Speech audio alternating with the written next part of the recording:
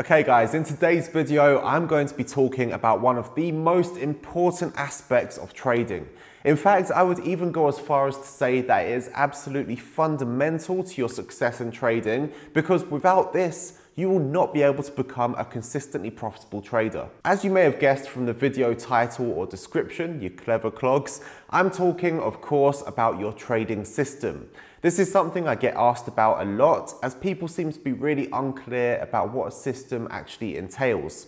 So I'll be explaining that with the help of a few diagrams that we've put together and I even have a practical exercise to help you define your system and start building one up for yourself. But before that, I just wanted to make sure that we're all on the same wavelength with some things. So I wanted to run through a few quick definitions. Firstly, I want to clarify exactly what I mean by consistently profitable. This is a term that gets bandied around a lot, but I have a feeling that the way I believe it should be understood is a little bit different to how you'll learn it elsewhere. Now, for most people, consistently profitable means that your profits are consistent. That might mean that you make 10% a year, 5% a month, a percent a day.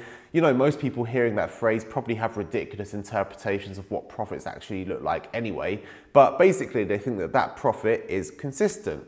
However, I see it a bit differently to that because I don't think most systems allow for entirely consistent profits. It will depend on the market characteristics at that specific time. One month you might have better returns than another. You may even make a loss sometimes. So the way I see consistently profitable trading is actually a combination of two different things. So on one hand, you're a profitable trader. Whether you have losing months or slow weeks without any trades, it doesn't matter. Over the long term, you know that you make a net profit. You are a profitable trader. And on the other hand, you are a consistent trader.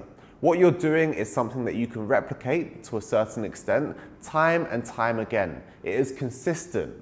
Therefore, if you are profitable on that one hand and you are consistent with your trading on the other hand, you just have to keep doing what you're doing and you will make money over the long term. You are a consistently profitable trader. Now, the reason this definition is important is because I want to stress how critical it is for you to focus on becoming consistent.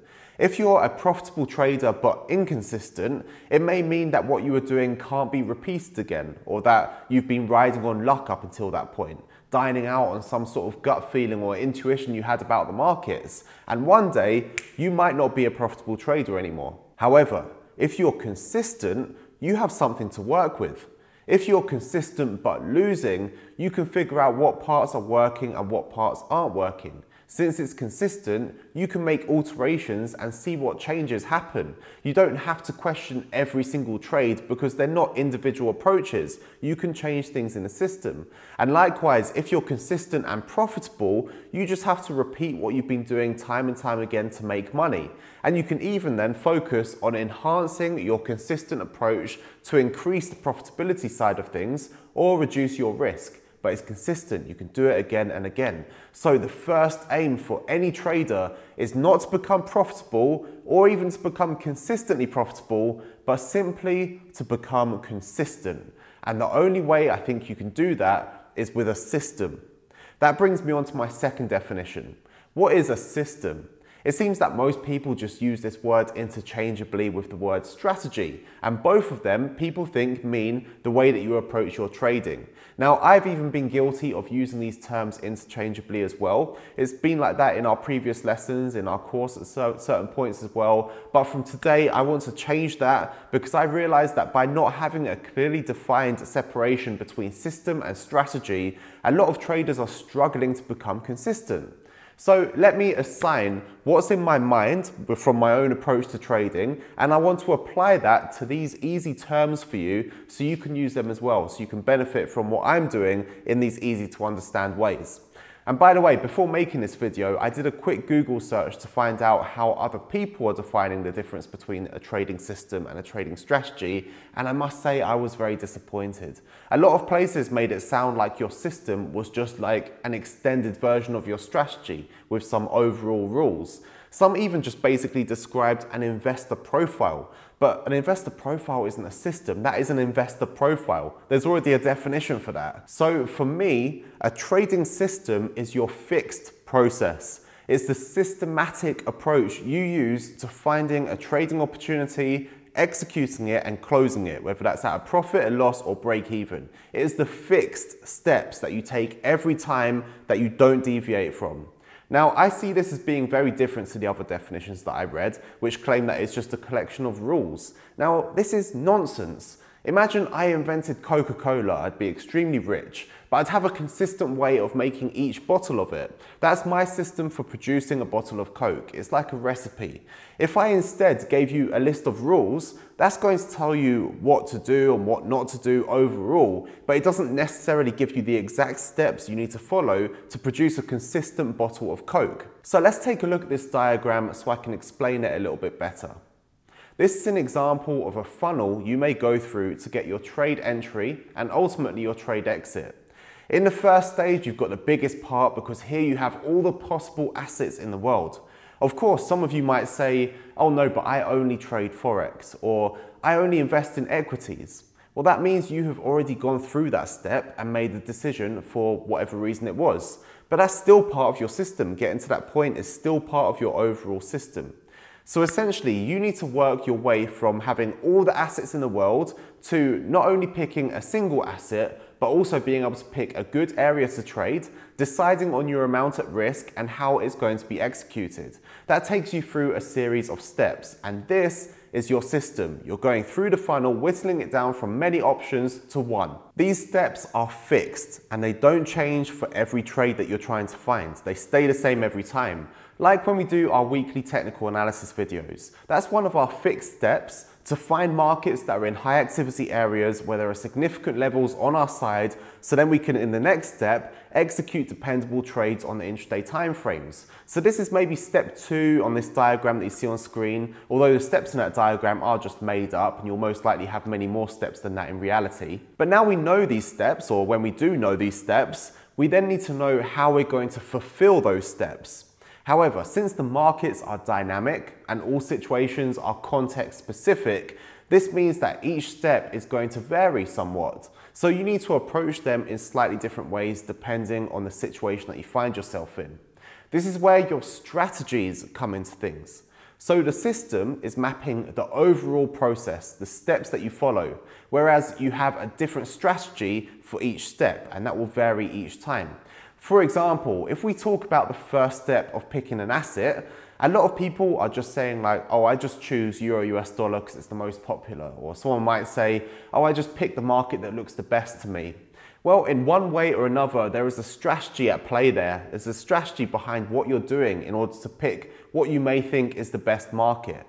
In other words, your system has set out the objective of finding the best market to trade for whatever characteristics that you define in your system, and your strategy for that step has helped you to pick the right candidate.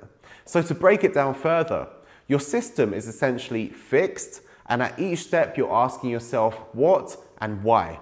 What are you trying to do at this step, and why are you trying to do it? Whereas your strategies are variable and they're answering the question, how? How are you going to achieve that step? And these questions are all really important to answer. I've said it loads of times before that what you're doing with your strategy and your system must make logical sense. So if you're not able to answer what you're doing or why you're doing it, you may need to revisit your own development and learn a bit more about the method that you're using. So since I want to keep this video just about the system for now, I won't go into too much detail about strategies just yet, but let me just quickly address a few points about that because some people are getting everything confused and they think that their entire system is just one strategy that they're following and this is why they're not consistently profitable. And when something goes wrong, it means that they really don't know what they can do about it. They don't know what step is suffering, they don't know what tweaks they need to make. But by defining your system and your strategies, you segregate the steps, which means it's much easier to see what part you need to optimize and it's much easier to learn quicker as well. Like, let's imagine, for example, an American football game. The overall objective, of course, is to win, However, if you think the objective of winning the game is one big strategy, you won't know what part you need to improve and you can't learn from other situations and probably you won't win. You won't get the same plays each time. You won't even have the same teams or necessarily the same players each time. So you can't just do the same thing all the time. Instead, you have a range of strategies and different plays that you can use. You know that if these guys run this way and you pass the ball to this guy over here, then in some situations, depending on the context, that will work wonders to achieve your objective. And in other situations, it won't be so suitable your strategy changes. You can't make an overall strategy out of the game. It's variable. So this is why we have our fixed steps. Yes, we want to get a touchdown. We're on our first down. What strategy is going to get us there with the context how it is right now? But that's the step. So if we take a look at step three in this imaginary system that we put here, we're looking for an opportunity. So if you only have to focus on that section, not the steps before it and not the steps after it, but literally just the step where you've already decided the market that you're following, the area that's interesting, and now you're searching for an opportunity, it means in future you can find many more situations that are the same as that one and apply the same rationale and thinking that you've had before in that step, isolated. Now this happens to me a lot. So you know, the overall markets might not look identical, but if you've whittled it down to a situation where you're having a particular interaction around a certain area and you're just focusing on that step, then you might see that there were certain strategies that you've used before that apply to the same situation and probably you can get similar results. But if your strategy is just your overall system, then you're not going to have that same outcome. Now, I know, I know it's only a short video and we're cramming a lot in here. So for now, it might sound like this thing's overcomplicated, it's confusing, you can't keep up, you don't want to do this. But that's just for now. We're going to take it step by step and believe me, by following this approach, you're actually going to be simplifying everything you do and it's actually quite simple to follow, but we'll just do it one step at a time. So for now, the first important step is to complete a simple practical exercise to break down your system. I want you to really dig deep and list down all the steps that you go through in your system to reach your trade entry, and then the steps after that until the trade exit. And believe me, you need to dig deep with this. Don't just go surface level. Like I know already that some of you will do this activity and you'll complete it in 10 minutes. And this will probably mean that you haven't thought deeply enough. You need to probably take at least an hour or maybe even more to really think. You need to list down every step you take in your decision making process, even down to which chart you choose to look at first. Why? Because maybe there's a better strategy that you can use for each of these steps and optimize your overall system.